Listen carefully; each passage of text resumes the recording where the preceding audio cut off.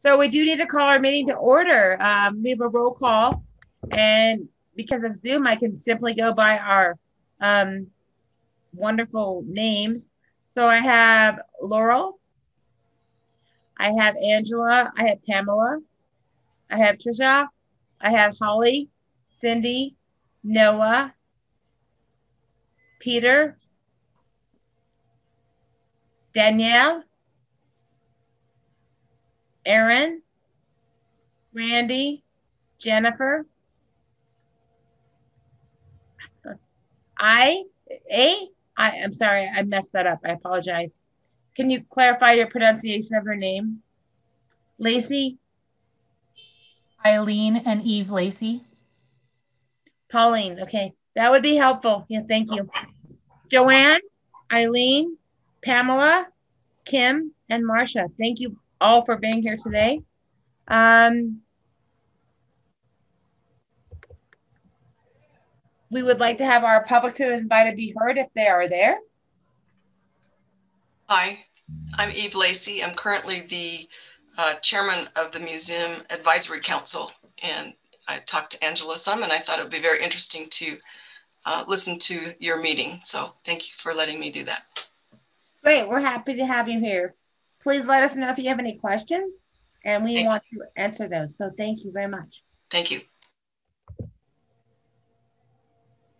Um, I have reviewed the minutes. Has everybody else? And if so, we need to approve those um, with any corrections. So initially, do we have any corrections to the minutes?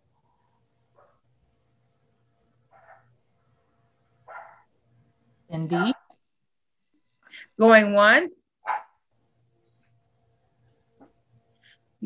As there being no corrections to the minutes, I would like to have someone move that we approve the minutes from our wonderful um, April 15th meeting. I was not in attendance. I apologize.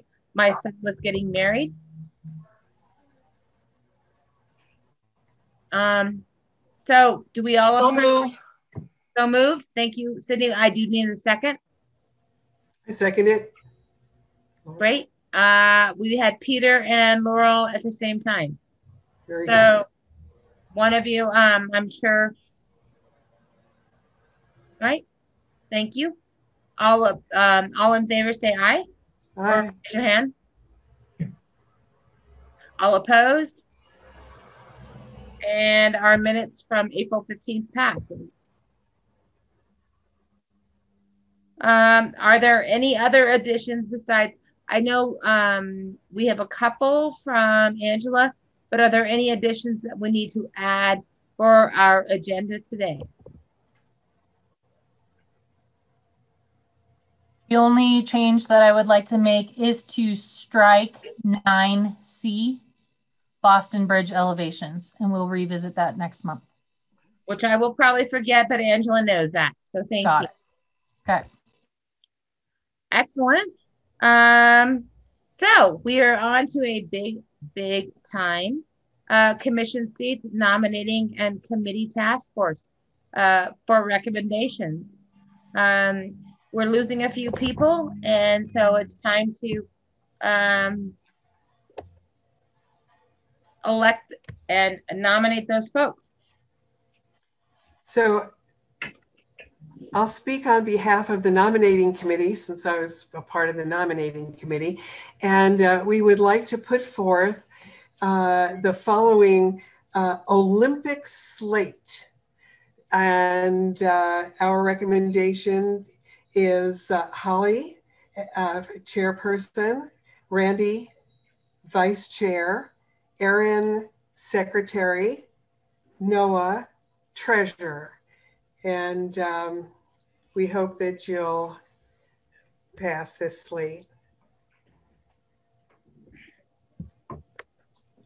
Would anybody like to make a motion to uh, pass the slate as presented? I'll motion to pass the slate as presented. Second. Are there any objections? All right, prior to that, do we have any discussion? Is there anyone who would like to discuss our nominations?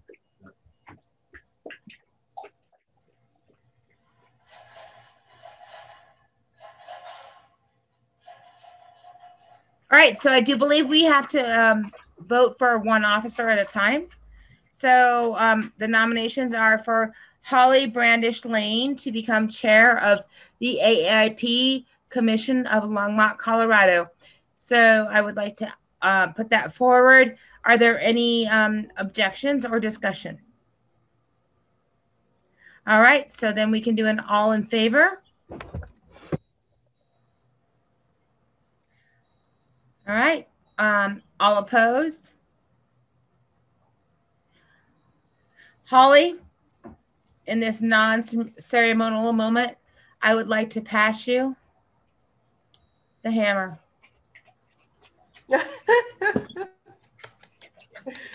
well done, well done. Thank you.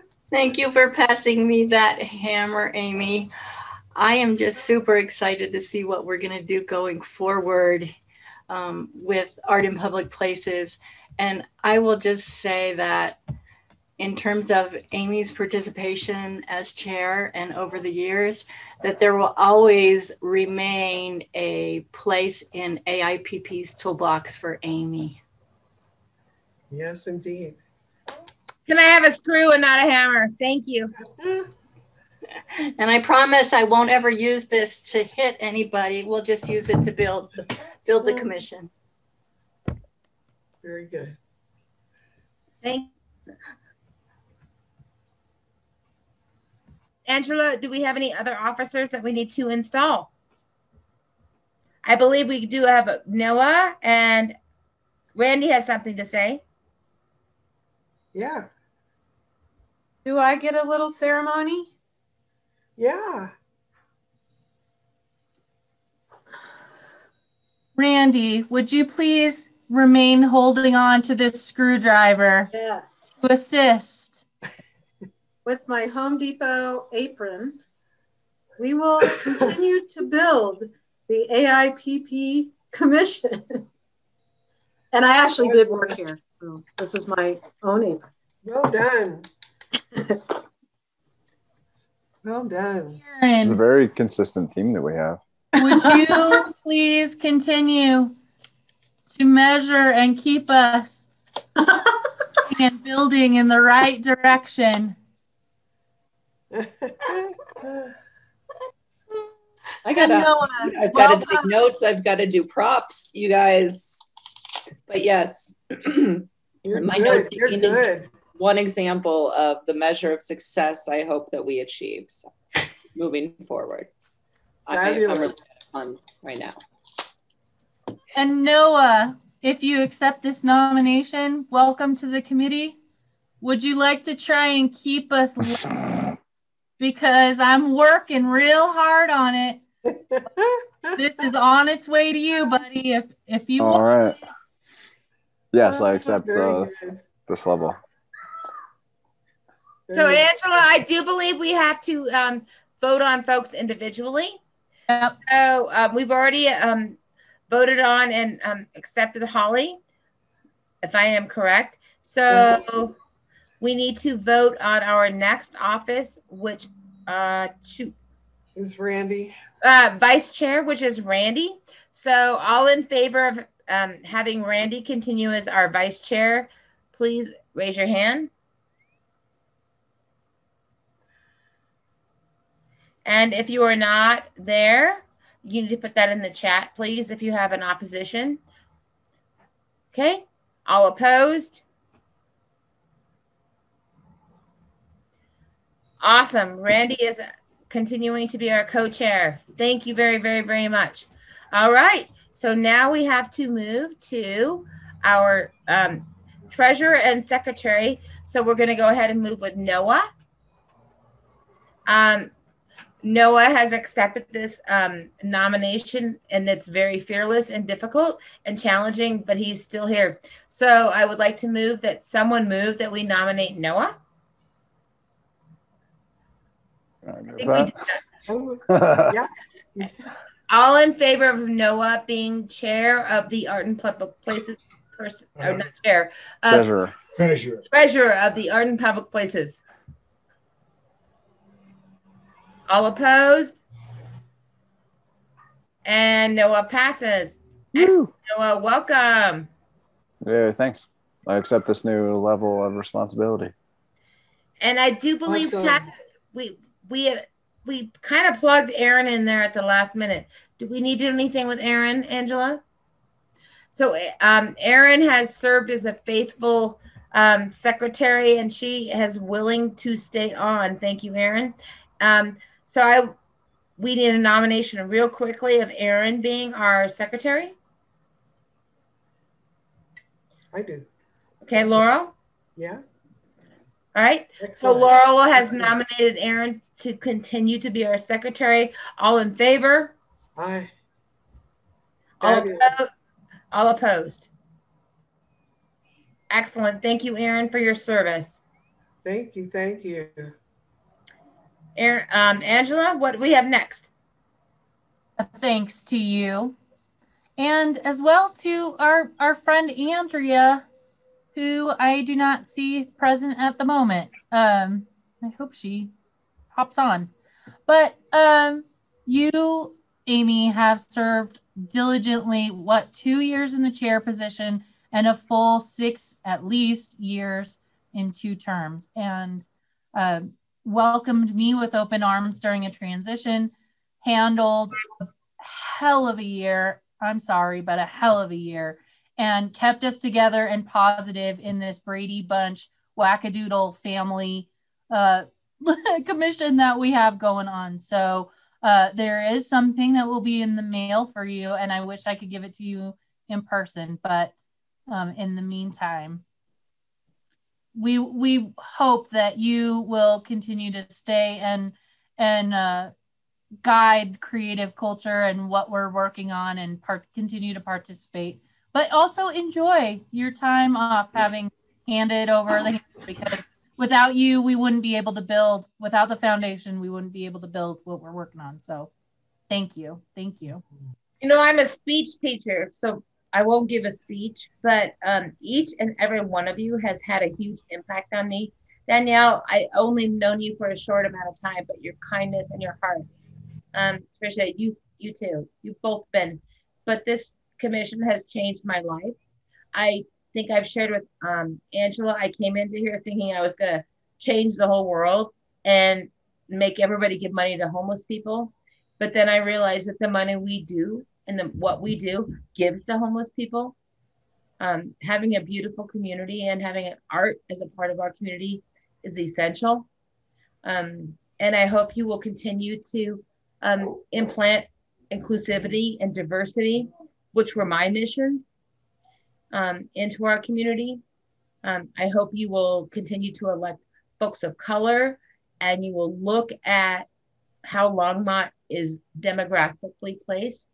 And now I will shush and thank you for a beautiful time. Um, it's been a quick six years. Holly is going to kick some butt. That's all I have to say. And I promise I will not say any more. Much love. I'm giving you a standing ovation. I'm giving you a round.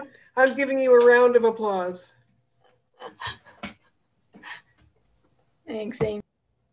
You still get to finish out this meeting though you don't get off that Yeah, I know. Can I go now? Um, so thank you, everyone. And let's talk about the creative district um, town hall pilot. all right let's give it a try jennifer Okay. Um, I know I'm good. I for some reason I I'm sorry I wasn't on at roll call, but I am here. I'm on my phone tonight. So, but it's working good. Um, so I attended the Creative District Town Hall meeting, which was the first actual in-person meeting that I had gone to in quite a while, and I'm sure uh, many other people too. So it was kind of a unfamiliar process at first, but it was very fun. It was at the Roost in the back room of the Roost, and and um, it was very well facilitated. And there were two groups that talked about that kind of brainstormed about what we wanted to do or what was important about the creative district. And um, the the two biggest things i would say well the biggest points that i took away from it were that um, people want to make sure that there's more information about the creative district and that that it, it just needs to be talked about people need to be educated it need to be promoted. And um, the other thing is that i found and i do believe this is true from my own experience too is that people really really like living in longmont and are very happy to be here and love being part of the creative community and have a lot of ideas about how to move out move create the creative district out of just the actual physical district too. So that was fun. And then the other thing is that um, the that there was a real desire to have a bigger performing arts space. And that seemed to be a lot of people were talking about that and um, wanting to have a bigger venue so that we could have more touring acts or entertainment or whatever. So and and this was interesting to me because I hadn't really thought about it too much before, but it kind of went into the next thing, which I did attend the museum expansion orientation to, and there is the plans for a bigger auditorium at the museum. That's part of the expansion there. So, um, you know, the big from what I can tell, the biggest venues that we have here for performing arts are the Dickens and the museum, and both of them are pretty small. And the high school has a big auditorium, but it's always booked up for something very hard to get. May I ask something? So, Jennifer, um, the symphony and many of our other organizations use Vance Brand a lot. Use what? Vance Brand. The symphony oh. uses Vance Brand every performance. Oh, okay. So I would be aware of that. Um, for the history of that, I would encourage you to contact Kay Lloyd. She's a great friend of mine, but they've been using Vance Brand for a long time, right, Peter? I can, I can, I can fill you in on that if you want to know a little more about it. Um, Vance Brand was originally jointly operated by the city. That's why it was called Vance Brand Civic Auditorium, but that is no longer the case. It's entirely uh, a school district facility, and um, because of the original agreement, the um, the symphony is grandfathered in so that they continue to have access to that hall for those dates. But um, it's not, um, it's hardly available to anyone else because it's a school district facility and the school right. will, will use all the dates that they need and they need ever more as their programs grow. Um, so it's simply not going to be realistically available for any community groups and other groups beyond the symphony. So Angela, may I call on you so we can move this through quickly? Um, anything that we Kim, should worry about there? Yeah, Kim, so Kim has her hand raised, and I do think that this is a little offline, but um, certainly going back to the creative district um, with the feasibility study coming out, it doesn't surprise me that that was a very activated conversation, and certainly the beginning of many. So um, Kim, you have your hand up. Yeah, I just want to make it clear that um, in the efforts that we're doing at the museum, we really are just looking at possibilities. Um, right. We're working working through a, a, a, not a feasibility study, but a, a, master planning process where we're looking at the needs that we have, the needs of you know the clearly the um, uh, there was a a feasibility study that was conducted um, through Johnson Consulting, and that uh, came. It was presented to City Council. Gosh, now this is two months ago or more, um, and essentially what they said is that they suggested uh, two phases of uh, performing arts. That for phase one would be 1250 seat facility and they uh, even suggested a location, which is called STEAM, and it's um, it's a development that is supposed to be going down by the uh, the uh, river corridor, if you will. Um, and then the phase two was a 500 seat facility. And so the museum, um, kind of under the direction of the city manager, because quite honestly, this is really just being opportunistic because we were already going through a, a master planning process um, the city manager asked us to include the, the phase two, the 500 seat um, facility in our planning process. There are no conclusions here. We really are just looking at the, the feasibility of it and whether or not it would be possible. Parking is a big issue. Um, so we don't know for sure that we'll even be able to do it because of parking codes. Um, and so I just want that to be clear that that um, we aren't actually. It's not a done deal that we are planning on building um, a performing arts center. We are just investigating the possibilities. So I just wanted that to be clear. And and also those those uh, we're supposed to be launching soon a um, uh, Engage Longmont um, survey. And so you would be able to participate in that and give us some feedback, which is essentially what Jennifer um, participated in, that it was basically the digital version of it um, is going to be on Engage Longmont. And we will have a member event uh, where you can again see the boards that Jennifer saw on June the 3rd. So you can kind of check that out and give us some feedback if, if you want to do that. That's from 5 to 7. So you guys are all welcome to join us for that if you want to. So let me know if you have any other questions about that. Well, I certainly don't want to speak out of turn because I don't know everything by any means. I guess the main thing I just wanted to report is that um, in this sort of brainstorming session of the creative district, that um, there that was one thing that people did mention is a performing arts the possibility that Longmont might have a performing arts center that would be bigger or more available or whatever. So that was true. And and uh, yes, thank you, Kim, for clarifying all that. Great. Do we have any more feedback on that? Um, I would like to add to what Peter said, unless something has changed in the last five days. Um, uh, the grandfathering of the symphony orchestra is over because the symphony can't get any can't get any dates until August, which makes their season very problematic. Um, so uh, I just uh, wanted everyone to, to know that in terms of considering uh, these future plans and their importance because uh, Vance Brand seems to be not even available to the symphony orchestra anymore. Um, Marcia, I would encourage us all to like support that. Um, Kay Lloyd is a good friend of mine, and I know things are changing there. Um, I don't know how or we can this commission can help, but I'm sure you will encourage them and let us know because the symphony is very important to the entire um, cultural aspect of Longmont. So I'm sure you'll, yes, Angela.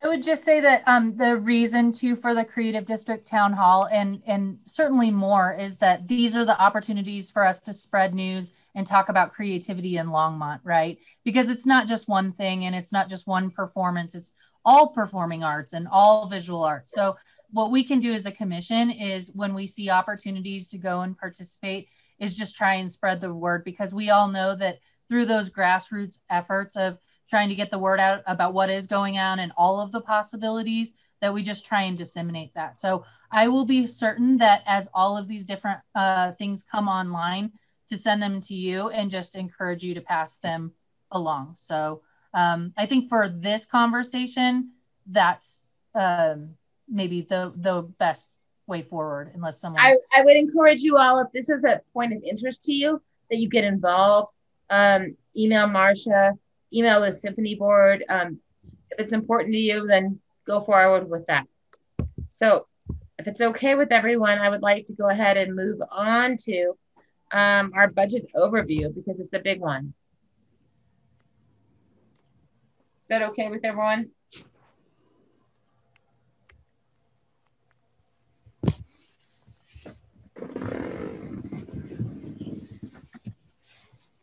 Marcia, did you have anything more?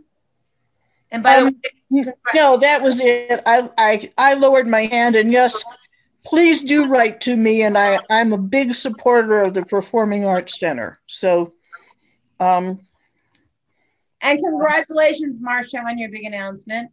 You oh, thank you. All right, I'm going to share my screen and without further ado, our new treasurer Noah and I have been meeting and talking about ways to disseminate this information. So we're going to do a big overview first and go from there. So hopefully you all are able to see this. Peter, you're on the top. Can you see it? Yep. Okay, great. Go for it, Noah. Uh, thanks. So yeah, as as treasurer, I'm trying to wrap my head around our entire uh, economic picture here, and um, so the first thing I guess we're going to discuss is how the Art and Public Places um, Commission gets its money to do with it what we do. Um, we typically work off of capital improvement projects. Anything that the city is building, physical infrastructure or construction projects that cost more than $50,000, we get 1% of that uh, estimated construction cost. And then it follows through um, the entire project and lands on whatever the actual number is. We get 1% of that construction cost total. That goes into the AIPP's budget, and we use it for the selection, acquisition, display, maintenance of public art, and to encourage the public to engage with that art in one way or another. And um, what is it here? So these are the actual numbers, right? Oops. so, um,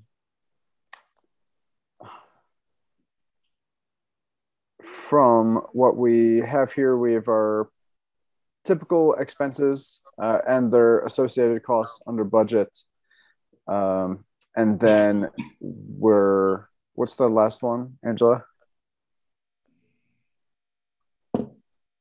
And then um, this is the full amount that we've we have budgeted to pay for um, artwork itself, uh, including shock art and any um, I forget what that's called. The acquisitions like uh, our good friend Ursa Major.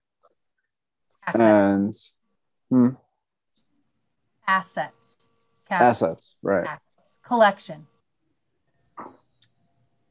And I believe, um, yeah, so we see our total down at the bottom is about uh, 206,000 or 207,000 in the last year or so.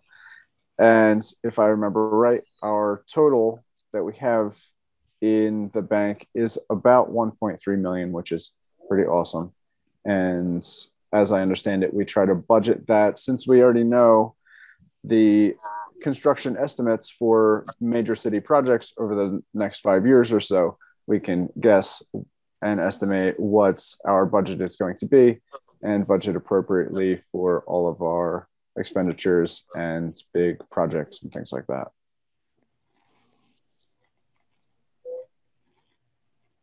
I guess this is me is just um, to explain that this year was my first year in going through the budget process. The budget process for art and public places happens at the same time and so in line with the city process. Um, and there are some CIP projects that are exempt, but for the most part, um, it's anything, you know, any construction doll or any project over 50,000 with a construction line item there. Um, sometimes it's like 17 bucks and sometimes it's more. So um, obviously in the last um, number of years with the flood, that's how that fund balance got so high. And that's what, as those construction projects are now coming to an end, it's our job to work on that um, that fund balance. And so that too is why I am here in a full full-time position um, and because we have opportunities to to get these uh, this fund taken care of and um, back to kind of that the revenue and the annual budget are more aligned. So just to give you an idea of the current projects that are underway, these are anything that really has some legs, if you will, um, over the past couple years. And the potential are things that we have talked about. Um, like we know that we're going to have to move, gather enough people. Well, as soon as Army Corps of Engineer comes back, that maintenance and repair line item is going to have to increase significantly because that's where it'll fall. So as these projects come in line, um, then there accounted for in the budget appropriately. Um, like that State Highway 66 is something that sustainability and transportation have come to me saying, you can see this, it's going to be coming down the, the pipeline. So um, as they get underway, then they'll contact us. Um, so that's a, um, in a normal year, that's how that process will happen. Um, does anybody, I imagine, have, oh, here's our collaborations. I was just going to point out that obviously these projects uh, span all through the city, right? So Parks Department, we work with development and planning, and we work with external partners like that uh, Boulder County Housing Authority uh, Kaufman project, right? Um, that there's an opportunity to work with them. So sister cities, Boulder County neighborhoods, LDDA, uh, we really work with um, a lot of different partners across. So um, imagine that there are questions. Oh, and the one thing that we didn't say, Noah, is that our big bad goal is to, um, of course, provide a spreadsheet with um, those big bucket categories like supplies and things broken down into uh, an actual, probably on a quarterly. Um, yeah, I think that would be great if we could present a uh, a rolling total of what our budget is and what our you know expired expenses are, what we can project in the future, etc. Um,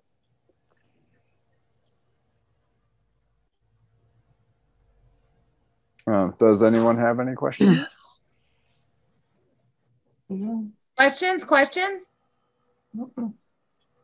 I think it's pretty straightforward. I mean, what we're doing and how the money's coming in and going out. So detailed budget would be nice, definitely. But I, I understand what what's going on. So so I would like to congratulate Noah and Angela. This is not an easy thing to go through. And Noah being a new timer to this. So um, give Noah a round of applause. Thank you, Noah. You guys are awesome, amazing. Um, and as with all online things, I always lose things. There we go. All right. Um, anything else that we need to go over there? Okay. So it looks like we're moving on to public art project updates. Art on the Move 2021. Is that correct, uh, Angela?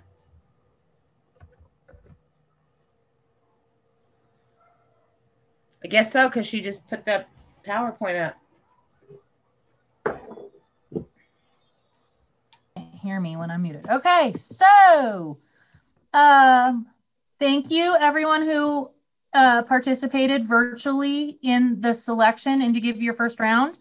Uh, every one of you, every commissioner participated online, which I'm going to chalk that up as like massive success. 100% is is awesome. So thank you because I think that that really got us started off on the right foot. And then of course we met uh, digitally to go through the short list and this is the final list. Um, the first work is Protector. Uh, Protector is 1,700 pounds and that includes the granite stone and the Colorado marble uh, Art and I'm sorry, rather Art and on the Move uh, task force will get together to talk to me about locations and some of the installation de-installation details. This sucker is going to need a crane, and uh, we have crane used for a couple of other things that we have to take out.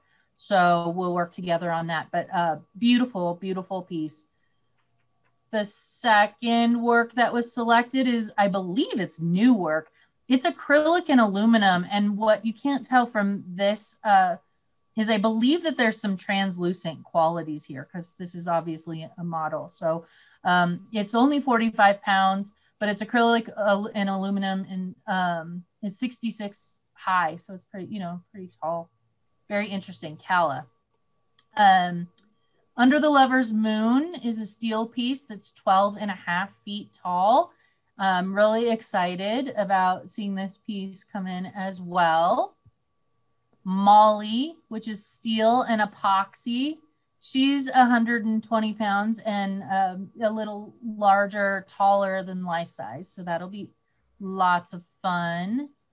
Wild Ones, which is glazed ceramic, steel, and cement board. I've actually seen this in person and it is lovely. It is absolutely lovely. And the last selection uh, was music, which is hand forged steel and glass. And sadly, this artist has placed this work um, in Kansas City just a week and a half ago. So we get to move. I know it's just a, it's actually, it's a real bummer. So um, we will be installing our first alternate, which is mid-century mini cacti, um, which is metal, concrete, mosaic um, glass. And it's a really tall piece. If for some reason I have not received confirmation on this, um, if for some reason this piece is not available, we will go to our second alternate, which is Spirit Set Free. So those conversations are underway. I still have not put the artists here because we are not under contract. Uh, this just finalized last week, but um, I have every reason to think that this is going to be completely copacetic with risk. Um, looks good. All the artists have been fairly responsive. So I feel good about moving forward.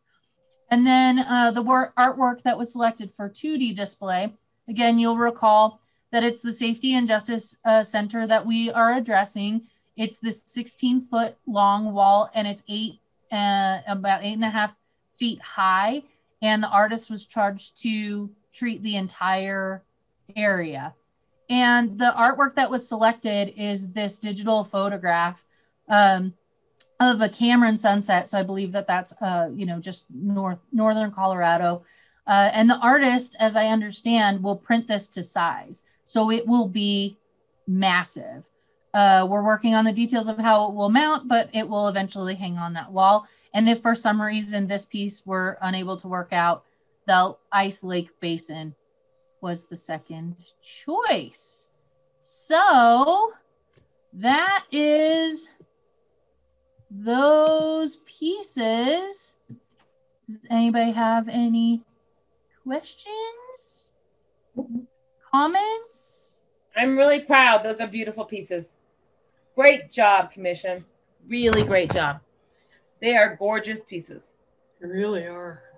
So the first uh, work that we will deinstall is the Blue Horse is going to be leaving us here actually next week. Uh, and then the rest of them, because of machinery, etc., I'm working on uh, the week of June 21st.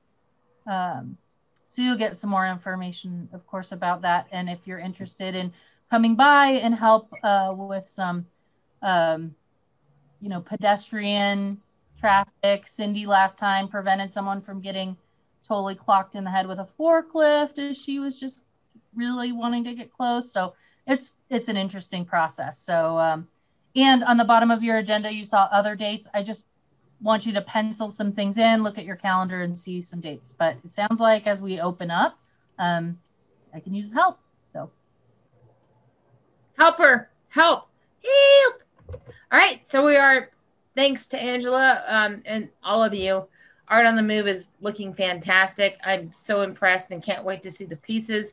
We are swiftly moving on to shock art, which is 9B, if I am correct. Yep. So the shock art call is out. The online application is up. The locations to drop off is the museum as well as LDDA during opening hours, and it closes on the 10th. So tell your friends. There's a Facebook push coming. Um, I'm trying to get it in the city line as well. Um, and then, of course, again, those those uh, volunteer opportunities when it comes about for photographing and then getting tables and things set up for our display. So excellent. That went quickly. So we are, according to our agenda addendum, uh, skipping the Boston Bridge and we're moving on to um, our um, 7.30 center discussion, but we are not there yet. So we're going to go ahead and go on to our creative cultural plan by our friend Holly. Yes. So I know I've been coming in front of everyone for about the last six months and just giving you little like tidbits of information about the Creative Culture Plan, um, which was formerly known as our strategic planning, if you remember that. Um, well, I'm, I'm super happy that this week we've made some, what I think is some major pro- progress towards getting to this overall goal of developing the creative culture plan. Um, Angela has been meeting with a fellow by the name of Brian Corrigan, who is a creative placemaking expert. So he really, his job is to take creative ideas and move them forward in terms of community. And he really, um, I think he's going to bring to us some really great things if we decide that we want to utilize his expertise. A couple of the things that he is proposing have to do with development of our commission internally to help us to understand what our mission is and what direction we want to go forward. And then he's he's he's kind of been tasked with helping us to really develop a creative cultural plan citywide. So many of you may have, if you've been around Boulder County for a while, you're probably familiar with the farm to table concept. Does anybody know that farm? It's it's a kind of a culinary, kind of a a process um, for really making exceptional food and bringing it to the table. Well, when you look at Brian, he has some ideas that could really take us from farm to spaceship. So, I mean, he's got some amazing plans that he really created a proposal and put it together for Angela. She's actually met with him twice, I believe, in the last couple of weeks. And Angela, I think you're going to um, kind of give us a sneak peek what that proposal looks like.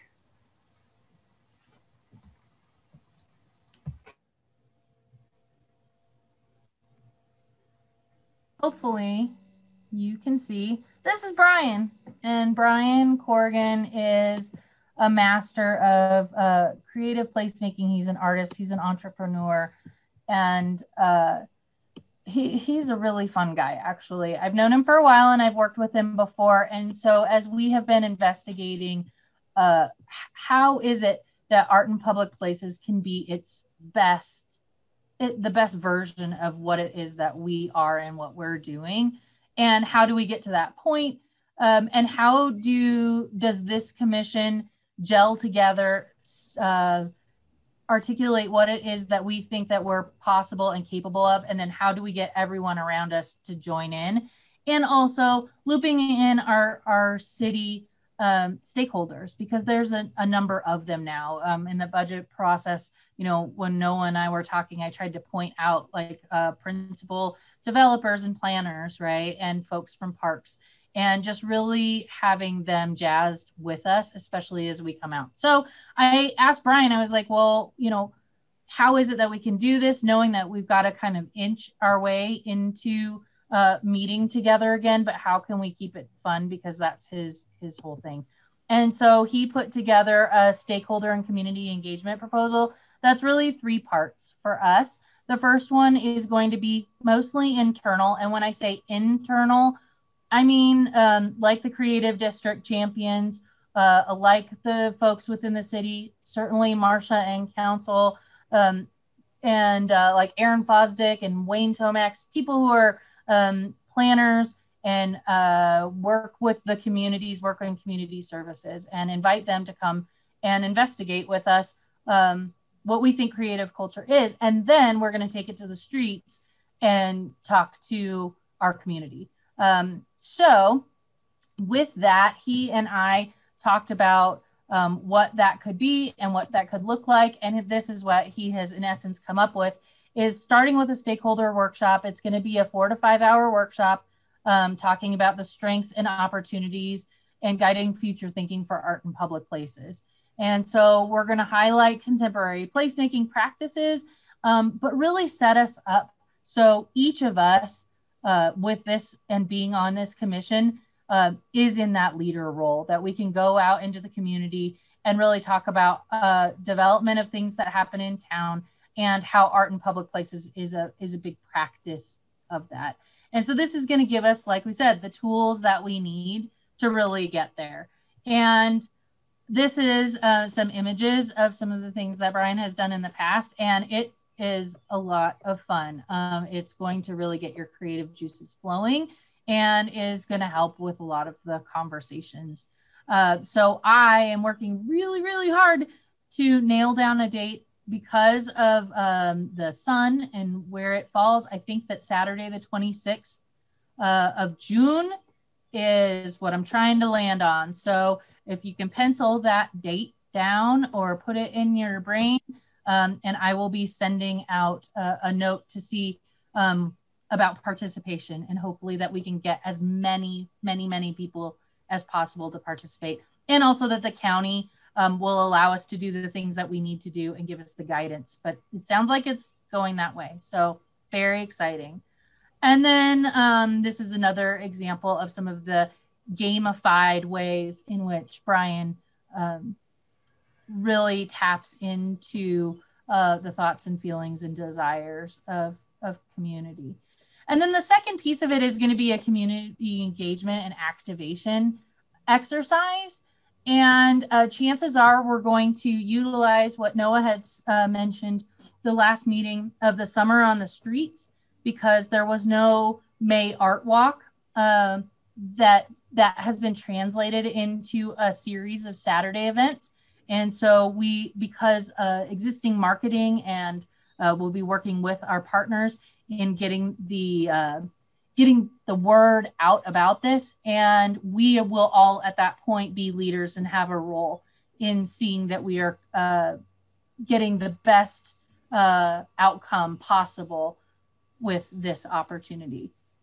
And then from this of course we're going to data mine the heck out of it with some of the existing work that we've already done in distilling uh, envision longmont uh, a lot of the other cultural plans, uh, the arts and entertainment plan from 2011.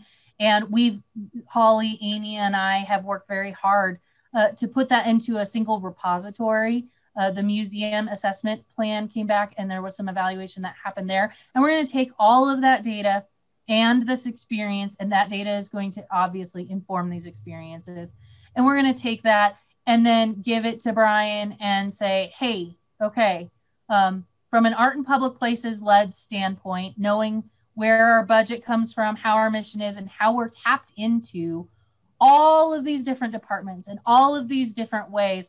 How can we bring the best art and public places program uh, to Longmont? And an interesting thing too about Brian is uh, he's working with lots of different communities, and that farm to spaceship idea uh, especially from an equity standpoint, is sometimes the folks who you want to have around the table aren't able to make it because they don't have time to be able to volunteer.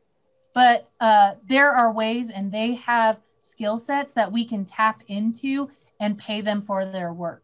How can we do that? And and this idea of arts and right, arts and economic development, arts and visitation to Longmont how is it that we can make and continue to push art in public places and leverage in the best way? So these other entities these other uh, the guiding principles of envision longmont get a step up utilizing our creative community. And so we're going to be the leaders in seeing how we can the best program we can to do that. So with all of this uh, Brian is going to put his recommendation of some of the ways that art in public places um, can be around the table to make sure that everyone who wants to have a seat at the table can be there. And then also, again, that idea of farm to spaceship that that our farm, our Longmont farm, is different than Louisville's farm, Louisville's farm is different than Denver's farm. Um, but we can all do out of this world stuff and make Colorado uh, you know, with our various farms, the place really where um, the creative people come um, to be the best for, for business. Um, and you know that means within our within our communities. Um, so that's that idea of of farm to spaceship. And um, it's it's interesting and it's going to be a, it's going to be a lot of fun. So um, with that, um, anybody have any questions? I mean, what I'm looking forward here for you from you here uh, really is we're talking about basically a retreat for art in public places, which uh, hasn't happened in some time.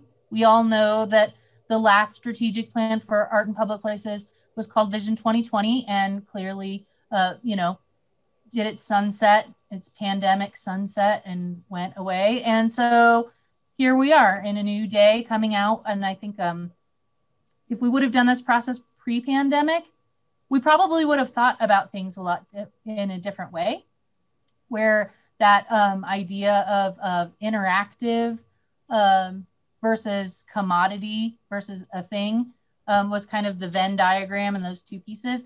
And now we're coming out and now having this transformational moment that um, the moment that you're living in, the experience that you're having in your place is the thing that we all value most. And every CEO, if you look at the top five things that they're looking for in any business, it's being a creative thinker. Well, we work with the creative people. So, anyways, I will stop talking, but I'm just really jazzed. So, does anybody have questions? Does this mean we get to see each other in person?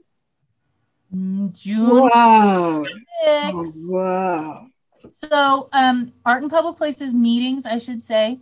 Uh, I I was in the citywide meeting today, and council is first, and then based upon, you know, you've got the you got bless his heart, uh, Polis is out there saying, "Take your mask off, take your mask off," but really, it has to come from the county, and and there are citywide requirements. So at this point, uh, advisory boards still have to meet digitally until such time. Uh, but I do think by June 26th, having um, having a workshop will be vetted and blessed and fine. So I'm working on it. Excellent. You know, I think that the Friends of the Longmont Museum uh, did a program similar to perhaps what this fellow is thinking of doing for us in uh, more condensed because um, the Friends of the Longmont Museum spent many more hours and um, and really it was a terrific facilitation and I, am excited. I was telling Jennifer who heads up the Friends um, that it's like a milestone uh, in terms of of what we went through and what we feel we can accomplish now. So I endorse it and I, I think we'll be excited about it. My opinion. That's great. That's wonderful. Angela, again, we'd like to thank you for all your hard work on that. That's amazing. Uh, Feels like it's been a long time coming, um, but that's just sometimes how things happen. And it actually ends up being kind of a good time. So stop it. So, from my understanding, um, it looks like we can move on. Um, we still don't have the civic center discussion. Are there more? Is there more input? Yeah, so I just wanted to add to the conversation that um, you know there is a lot of uh, kind of strategic planning conversations that have been happening around the museum and around art and public places and around the friends of the museum. And um, I don't know exactly when this might be the most opportune moment, but certainly I think that it has become clearer and clearer that it makes a lot of sense for um, the AIPP Commission and the Friends of the Longmont Museum and the advisory board for the museum to come together. And, you know, we can kind of um, rally our energy for arts and culture in Longmont. Um, and also just get to understand what each other is doing and, and where our different uh, uh, focus is um, and so like laurel is on both boards so she gets a, a sense of the friends and aipp and i think that um, one of the goals that I have had since I started my job now almost four years ago is for there to be more integration between the three boards of the museum. And I think we're finally getting to a place that it's it's starting to make sense about where those integration points um, make sense. So look forward to an invitation for all of us to get together. And I think it might even be in person. That would be awesome. Wouldn't that be cool? Yes. All right. Great. That's amazing. So, um, Civic Center, would you would y'all like to talk about that? Hi, Charisse. Charisse! Charisse, my Hi, Laurel. Hello. Hi. Nice to see you all this evening. Thank you so much for the opportunity um, for me to come and speak to you a little bit about the Civic Center. Uh, for those of you who don't know me, my name is Charisse Montgomery, and I'm a project manager for the City of Longmont in the Facilities Maintenance Department. And I was actually brought on board to help with the bond projects uh, that were passed in 2018 um, that include the Civic Center. Um, then our efforts will move to safety and justice, and then we'll kind of make the rounds with all of the city facilities and making sure that they're structurally sound and will last um, the next 20 to 50 years uh, that Longmont will be fully operational and structurally sound. So um, Angela's going to share, I, ha- I put together a little presentation um, just to help give you a little background about the Civic Center and art in public places. So thank you so much, Angela, for, for being my slide guru. Um, we can obviously go to the next slide. Um, for some of you who might not know, the Civic Center um, was actually built in the mid 70s and it was five separate buildings. Oh, we can go back. Yep.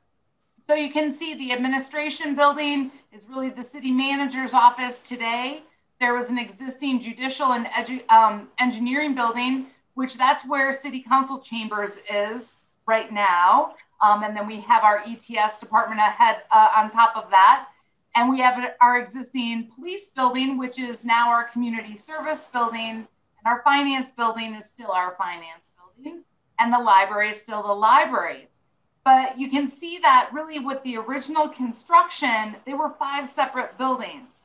So the mall area was enclosed in the late um, 80s, early 90s. And that's where the skylights came in. And the um, art that currently exists today is hung off that skylight. However, you know, the original uh, intent of that piece of art um, wasn't in the original plans um, because they were five separate buildings. People thought they, you know, they they hadn't um, put a roof over it to make it an enclosed mall area. It was an exterior um, building face. So let's move to the next slide. so um, we had some structural concerns of the building, and this kind of just shows the timeline of repairs that have happened in the building. Um, the original investigation started in 2015, and here we are today, um, six years later, and we're still working within the complex. Um, water has not been our friend. Um, and so, with all the amount of freeze thaw cycles we get, um, that has really done some damage to the structure itself. But I'm here really to um, show you a little bit about what the mall looks like now. So, if we can go to the next slide. So, um, if you haven't um, had the ability to go to the Civic Center recently, um, we kind of have the before and the after picture. Um, most of the displays that um, art was um, displayed in, including programming uh, through the rec center and community services, has now been removed. Um, we did have a big structural repair that came right down the middle of the Civic Center um, pre COVID. Um, and now we have brand new carpet that has gone in. Um, one of the displays that will stay, however, next slide, is our Sister City Showcase. Um, obviously, the goose, goose is in its temporary position as we were um, redoing some of the carpet. So that's not his forever home. Um, he will, he has been moved back. Um, but you can kind of see some of the displays that um, currently exist, really honing in on, on the Northern Arapaho um, communities. And really, it, this is our showcase for, for the, that art um, to be displayed. So next slide, please. So one of the things I know the colorful poetry of the Middle Ages, which are the flags um, that existed in the skylight area, we were looking at possibly there being some other locations that we could utilize for new art. Um, and one of the locations that you can see in this picture here um, really does create a 360 degree visibility um, and the beauty is it's slab on grade. So I don't have any structural um, concerns about the weight of any art that might get placed. Um, and it's a fairly substantial area. It is um, approximately six feet by 16 feet. Um, it can be seen quite, um, quite nicely from the entrance into council chambers as well as the parking garage. And then you get a top view as you're in the mall area, and there are stairs actually on both sides of this location. So um, when I got a chance to meet with Angela, we said like, hey, this would be a really great area.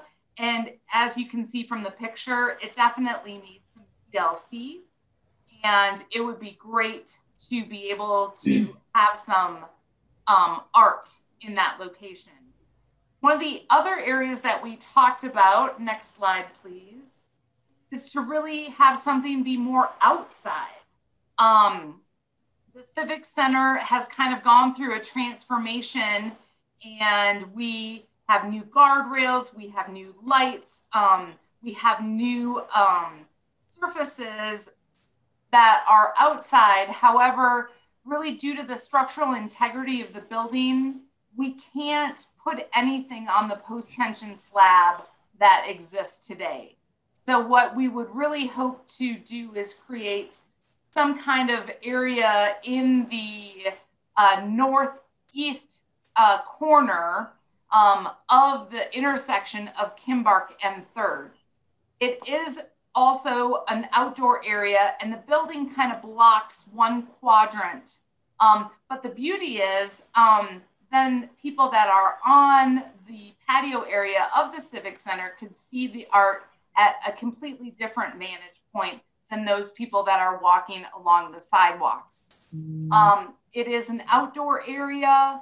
Um, we don't have any structural concerns at that location, and it also has electricity that is running to that location. So, um, at this point, I'm just really here to answer any questions that you might have. I'm hoping that we've I, have presented some food for thought on maybe some other locations that we can go with art.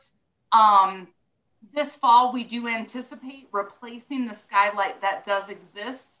It has reached its life um, expectancy. And um, our hope is that um, it, it's hard enough to get skylights down and, and not damage uh, normal walls. Um, and I really um, I don't want to do any damage art along the way. So I will uh, open it up. You, you, can go to the next slide really because it's just thanking all for letting me have the opportunity to come and speak with you tonight. But um, I'm here to answer as many questions as I can or take notes um, so I can get a response back and have Angela filter that back through.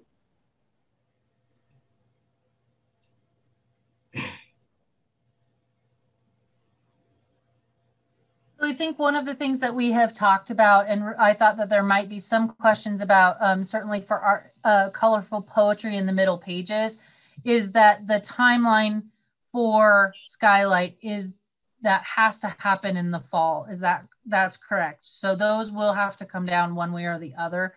And uh, one of the things that we were waiting and had tabled in our conversation here in art and public places is that um, whether to bring the conservator in in advance or being um, efficient in that the work will have to come down in considering the conservator at that time. Uh, the other piece is Holly and I have worked on um, getting some employee feedback as well, um, questions, as well as some community feedback. Um, and Cherise had mentioned uh, just dot matrix posters for folks that will be going over there. So um, yeah, I think that just coming up with a plan uh, for conservation, um, if we can agree as, as a group, um, then again, if, if going in and having the conservator take a look at it in situ now is the way we want to go, I, under, I understand that too. Um, and then the next piece of it is because we do have this 150th um, celebration that we're talking about from uh, the Longmont standpoint, launching a project this year, obviously it wouldn't um, get completed this year because it could be a very large project, but launching that and getting a task force together um, would be helpful, especially because that Northern Arapaho um, sister cities, as I understand, is going to be solidified later this fall. Um, yeah, so if there's questions for Cherise or if we're interested in starting a two person task force and then we can have a larger committee um, as well. So how about a task force? Who would like to like dig into this? Cindy, thank you. And Danielle. Oh, all right. Well, we have to like debate. So who was like, eh, maybe not. Go ahead, Jennifer. You could do it. I would love to see Danielle too. Danielle, you think? That's fine. Three fine. We'll just uh, make sure that we're recording our meetings. And and uh, Jennifer, you, I think we had started because you were investigating them early on. I was, and I also am fiber artist. Right. So I, I don't know. I mean, this is not the kind of work that I do, but I know fibers at least. Great. I will leave that to Angela to uh, uh, figure things out. Um, Cherise, I cannot thank you enough for being here tonight. You kind of opened our eyes to things that we uh, weren't aware of. So, do we have any other questions for Cherise?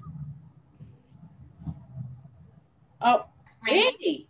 Actually, may not have caught this, but when will at least the two spaces that you alluded to, the indoor art space and the outdoor art space, when will those be ready to be occupied with art? Currently, they are available. We are still working within the Civic Center complex, and the library kind of gets included in that area.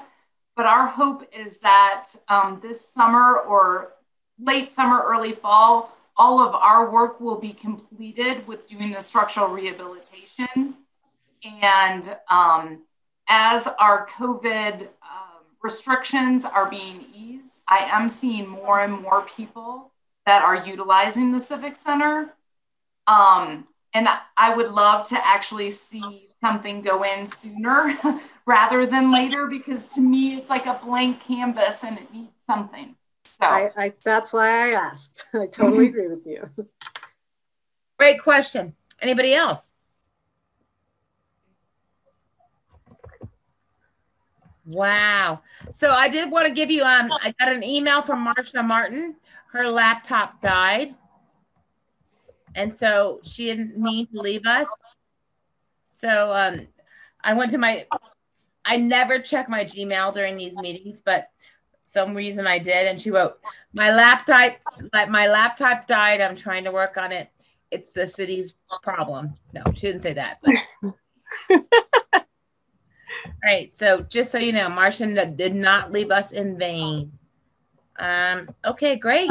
Um, I'm going to our next, and I of course lost it. Don't, don't stand by me. Stand by me. Well, thank you all so much. I am going to bow out and, and please let me know if there's anything more that you need. Thank you, Cherise. You've been to us tonight. Thank you. Bye. Bye. Thank you. Okay. And of course that did happen. And now I have to go back up here. Okay. So our next item, we're getting close, y'all. We're doing really, really well at a 7-Eleven. Um, budget, creative, Holly, and Holly already uh, administrative report. Angela, look where we're at. Hello. So the big thing that happened, and I'm going to try, I'm going to lose you for a minute visual wise, but I'll get you back, uh, is that we have received information from um, our an artist that we had worked with in 2019 when I first arrived, um, DeWitt Godfrey, who installed the Collyer Park piece. And I'm going to pull it up just for recollection in case you haven't been over there. So there it is. And this mm-hmm. basically was mid installation. So this was uh, fall of 2019. That cottonwood tree is no longer there. Um, and so we have not, had not finalized this project because the artist was uh, still in debt to some subcontractors here in Longmont. And I'm happy to report that all debts have been paid and the documentation has been approved by city attorney as sufficient to accept this project. So without further ado, I would love to get this off of the list and accept the piece. Again, um, we've had a dedication. Um, everything is underway and it looks good. It, I do need to move some sprinklers, but that has nothing to do with the artist. So um, that's the big bad report thing. So if if anyone would like to motion to accept that work, we'll wrap motion. All right. So can I have a mo can I have a motion, please? Yes. I motion that since all debts have been paid to the city on so so-called piece of art, that we move to accept the installation into the AIPP collection. Thank you, Ron, Randy, and I second. a second. So Holly, we have a second. All right, awesome. Can we say an all in favor? All in favor. Awesome. All opposed. I think this might be my last vote of all time. All opposed?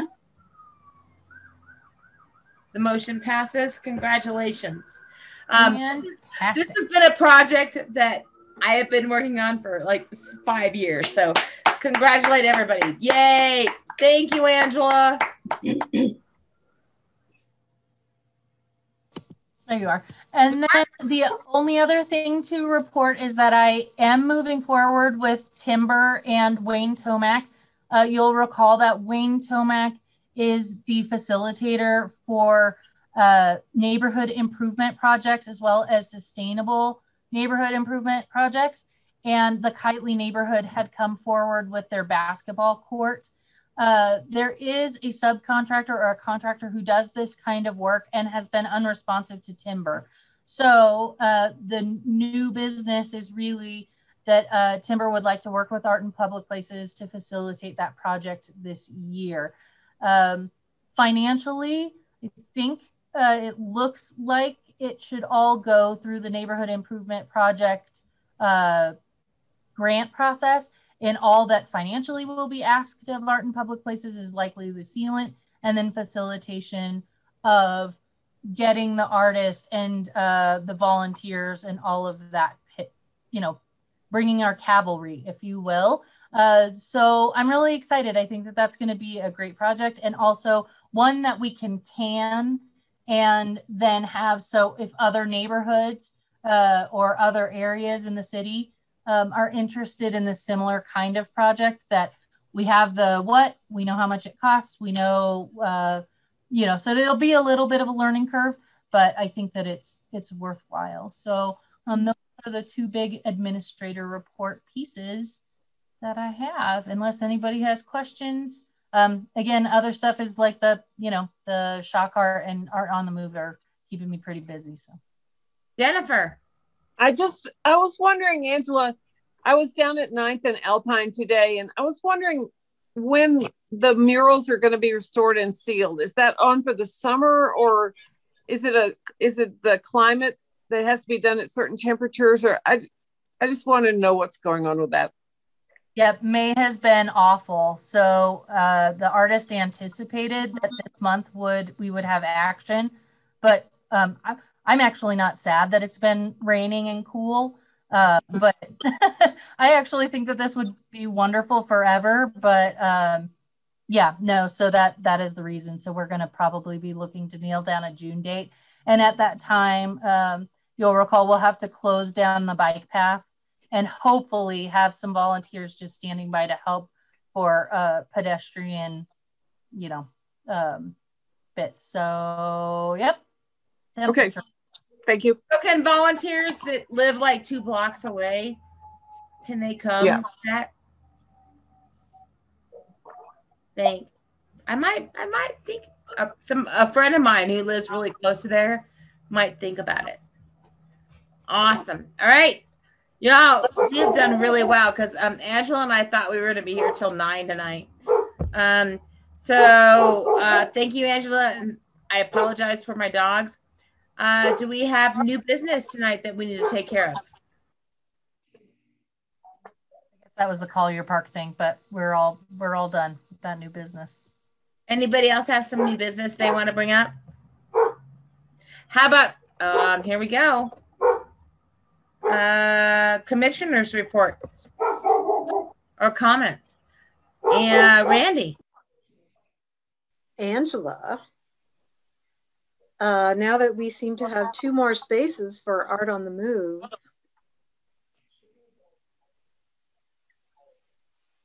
So here we are again, right? Art on the move. Um, we're limited. Oh, well, good point. Yes, we could put in infrastructure to, I have a crying dog too. Um, we could put in infrastructure for temporary artwork at the corner of the Civic Center, if that is what the commission would like to do. We could do a permanent piece there. Um, I do think that indoors is probably more uh, appropriate for us, uh, sister cities or indoor piece. But yes, certainly on the outdoor, 100% that we can go forward with that and I can pour a pad. I can call concrete and pour a pad tomorrow if we want. Would you would you guys like a little subcommittee? I think we could just make up our mind of how big we want it. And I've got concrete guy on standby. I can call it in. we would just have to pick another or use one of the next pieces in the that was chosen. Yep. And make sure that it's not too tall to run into that tree, but that's my problem. I can I'll go out there with a measuring stick, no problem. Well, what is the next? Uh, that? what's the we have- next piece that we voted for? So the the art on the move uh, subcommittee that will choose locations meets next week. I needed to I needed to know um, at least a verbal confirmation of what work was going to be installed. Um, so we need to figure we need to meet next week and figure out those locations. Um, again, but I I have plenty of time. I've got a month. I've got plenty of time to bore a new pad, no problem. I do think that is subcommittee worthy, though. I'm really do because you guys got pads and stuff, and I'm kind of over your pads. Well, we have an Art on the Move task force. Yeah. Art on the Move Task Force. Maybe you should think about that. Pamela, I just saw your light go on. Do you have a, Do you have comments or questions? No, I just said yes. That's a really good idea. Okay. So I'll get our on the move task force together early next week so we can get that underway and just uh, think about that as a potential location as you consider these these works. Um, and once I get that final final confirmation of participation from the last artist, then I will send visuals out for you as well as the map. Excellent. Awesome. Good thinking. So, do we have any more new business? Wow, Angela and I were literally thinking we were going to be here till like 8:15. So wait, wait, I have one more thing. Um for the 150 year is there a task force for the 150 year project? Or Longmont oh. thingy? No? We have the colorful poetry, but uh no, we do not. Would anybody be interested in serving on the 150 year task task force this year? Sure. I will. Pam, Randy, and Pam, Pam, and Pam. Pam, you know you're here twice, right? yep. Yep. Anybody else? So Pam and Randy. Great. Why don't you guys, y'all folks, get together and think about something? Anybody else? I'm, I'm sure Angela would be excited to be a part of that. Okay, great. Thank you. Okay. Sorry, everyone. I'm done. Now, any more task force or anything that we need to form before I leave and don't have to be on them? Angela, that was funny. All right, so commissioner's report is where we're at. Before I give my speech again. Comments. Yes, Peter. Commissioner's comments. Uh, is that what you have? Yeah, comments. Commissioner's yes. comments. Th those were me. That I did two commissioner comments. No, you were in new business. Commissioner comment. Any more comments? Deepest appreciation and thanks to Amy. Yes. That's Thank my comment. um, these are folks that I probably would have not got to know. That was my little speech. Um, I knew of Cindy. I knew of all of you in other um, lifetimes. And um, I'm not leaving. I'm just going backwards a little bit. Um, I hope to participate in your events. Um, and I thank you all. You've made me grow as a human being. Um, I regret that we had to do this under a pandemic because I had a lot of big ideas, but um, wearing a mask and not being able to be together made that hard. I am very confident that Holly is going to be amazing. And, um, you know, it's all my doing that Hall, um, Angela is here. No. So thank you for your blessing. I'm, I know I have not been the most kosher, um, the most dignified, the most um, realistic chair. I had um, a meeting with Paul and told him, uh, Paul, uh, those of you know Paul Mace, and he said, you know what? They knew that before you came, they wouldn't have let you be in if they hadn't, because you've never put, um, you've never put on a face. So, thank you, and um, I'm proud to have been a part of this commission, and I'm proud to be your friends. Y'all are my friends. So, thank you. Any other commissioner comments for the evening? All right. Well, I'm very proudly to say that my last meeting, sorry, 725 on um, May 20th, we adjourn.